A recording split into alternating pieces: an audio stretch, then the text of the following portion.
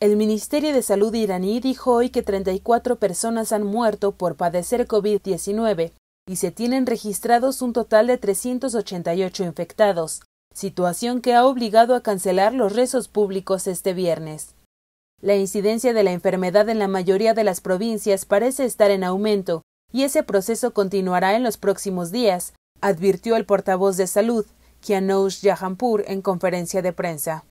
Agregó que el aumento de los contagios se debe a que la enfermedad se está extendiendo y probablemente continuará durante días y semanas.